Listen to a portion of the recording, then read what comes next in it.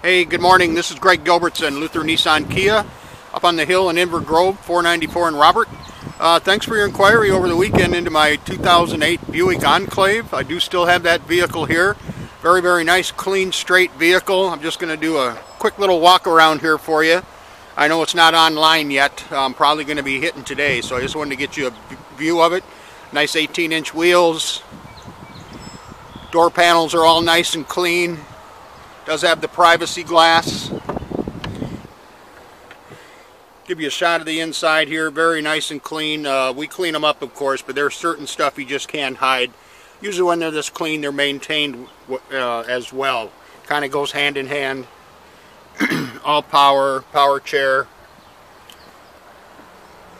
Coming around to the back here, it does have the power tailgate, which is kind of nice if you're coming out with a bag full of groceries. Backup sensors. Third row seating. 60-40 split so you can have um, some place for storage as well as a passenger. Coming around the passenger side here. Again, uh, very, very straight door panels.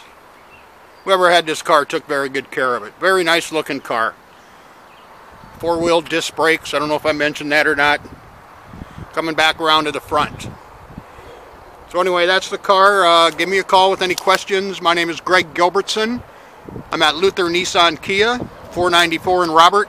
Number here is 651-457-5757. Give me a call. Have a great day.